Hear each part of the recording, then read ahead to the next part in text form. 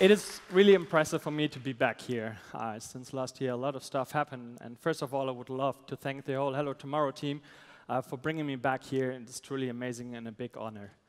And I would love to take this chance here right now, not to talk only about Lilium itself, but also what happened during the last year, and maybe give a bit, little bit of awareness what this brings uh, to all of you. So let's step back one year back to uh, one year back. I was standing here, same place, same location, and what I did uh, since then, or what we as a team did since then, is pretty amazing. So many things changed, except for my haircut. But um, last year, I was actually presenting you our answer uh, to the individual uh, on-demand transport problem to get a person from point A to point B. And I was showing this bad boy here, a two-seated, all-electric vertical takeoff and landing jet. Last year, I demonstrated or said in some years um, that you will fly from Charles de Gaulle to here, and this will be, not, will be not changed, but the whole business case behind it and what we want to do change completely. And before I give any details on that, I would love to give a short introduction why mobility and why individual on-demand transport. Transport in general is a 3 trillion plus industry. And recently, Uber and especially Lyft demonstrated that on-demand uh, transportation um, is necessary and has incredible market opportunities. And I want to show you right now that it is absolutely normal to bring this on-demand transport up in the sky and that from now on, the question is not if we will have on-demand transport in the sky, but when. My name is Patrick. I'm one of the co-founders of Lilium Aviation, and this is our answer to the uh, urban mobility problem. A fully electric vertical takeoff and landing jet with five seats, an air taxi, and the first of its kind.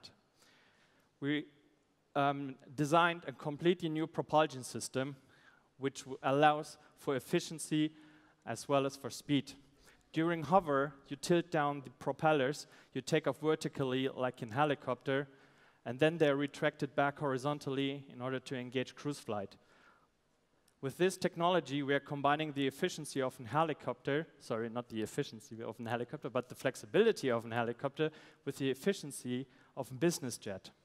And at the same time, we have a huge um, an, uh, advantage in terms of safety and simplicity. We have just one moving thing, those flaps who are going up and down. This is everything. We control the whole airplane with this. And beyond that, due to an impressive uh, propulsion system, it is also extremely low on a really low noise emission level, which allows us also to start and land uh, in a city. As I will show you later, during the commercialization, we are able to drop the price down to be as cheap as a train. We are quiet as a fan, we can reach up to 300 kilometers per hour at a top range of 300 kilometers. We have nearly zero CO2 emissions, and we are very simple and thus extremely safe. In five years from now, I want all of you, when you arrive at Charles de Gaulle, that you take out your mobile phone, order a jet, and fly within five minutes here to Le, uh, Le Quatre. Sorry, my French is not very good. And by doing so, you will tremendously um, uh, have advantages of your everyday, uh, uh, everyday mobility aspect. What we're doing by the whole commercialization over the whole world is that we drop the price so low that you will have, the, you, you pay the same price like for a taxi, but you have the tenfold of the time in the regions where you want to be. And we're doing this and assessing this for everybody. This is not something for the rich guys. I want to see a grandmother in the front seats and some students in the back who are flying to some lectures or something like this. And we are doing this by multiplying your daily action radius by the factor of 15. And all this is done by, new, term, by new terms of efficiency of an airplane which is extremely fast and extremely strong. But maybe let's get back once again uh, what happened actually after Hello Tomorrow, what happens ever since. What I will show you now is a video of my team who were celebrating during uh, the announcement that we won last year Hello Tomorrow finals. And people are thirsty, and some teams are have a lot of pressure right now. So, I guess you want to know who the, who yeah. the winner is. I, I, I, I know who it is, but they want to know. You want to know. All right. So the winner of this uh, year's competition is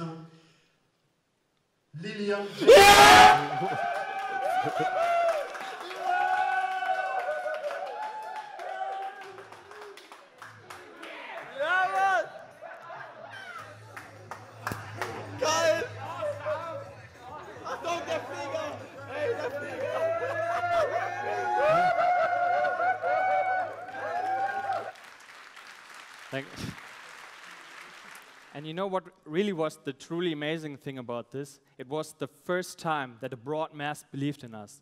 Before that, we had years of denial. People who were telling us, you cannot do it, it doesn't work. Even a big um, aircraft manufacturer told us to stop immediately because when our future uh, chef sees what we were spending our time on, we will never get a job again.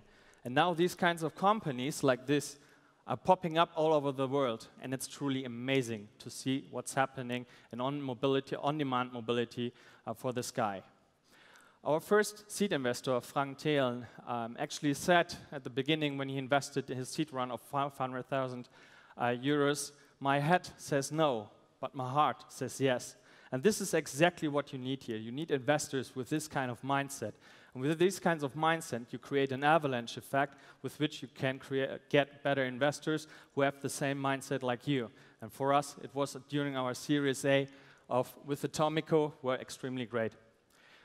With this money, we were finally able to build our airplane, our first full-scale prototype. And by the way, this is the one I was promising last year. So, promise kept, and we're using it all day and test um, the promise performance um, yeah, that I told you last year. And now, uh, this year, something truly amazing happened, and still we weren't able to completely uh, sink it in, but we were able to raise uh, another $90 million during our Series B.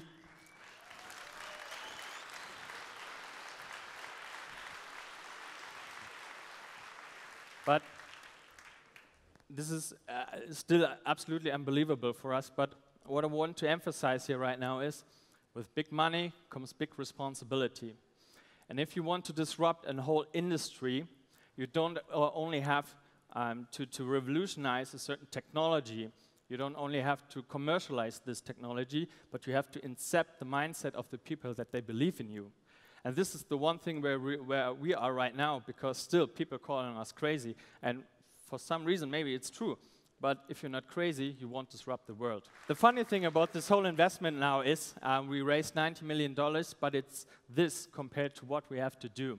When you have a look at Elon Musk promised 12 years ago, he will have refuelable uh, rockets who come down, you refuel them, put them back into space.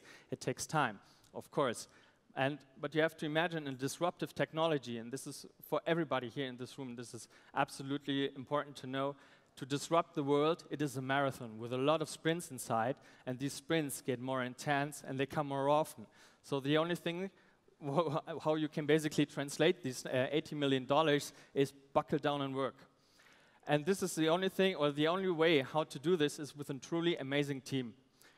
Here, we are the four co-founders on the Oktoberfest with our big wish up above us and we, we are, we're coming from completely different fields. But we were friends before we were founded, and we grew together um, during the whole stressful and very intense time, and this makes us even stronger. And the most important thing is that when you, when you have a founding team uh, that you can truly believe on, you have to be completely aligned as well. The worst thing that any founding team can happen is that you have a team that is set up but you have four founders, for example, who go in completely different directions. One wants to go for a fast and completely unnecessary exit, the other one wants to disrupt the world, and the others, don't know, lunch.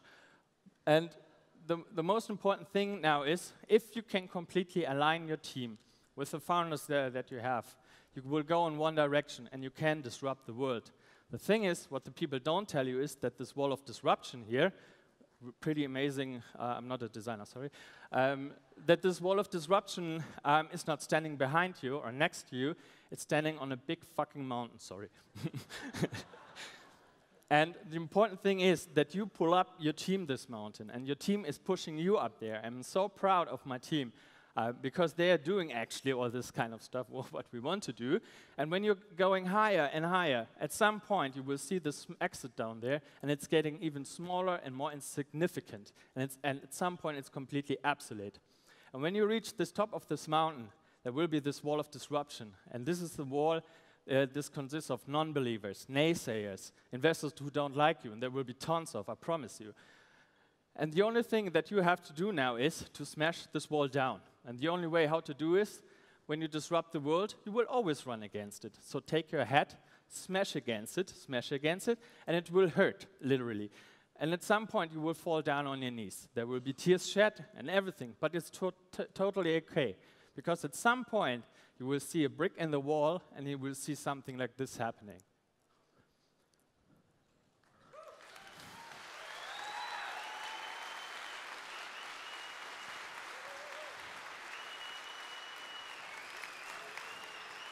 So, and, and when you see the love of your life flying through the sky, then uh, you really recognize that it's all worth it, all the pain you have been going through, that it's completely worth it, and you don't listen to the naysayers, you just do it. And then you can just basically do one thing get back up and rise and shine. Thank you very much.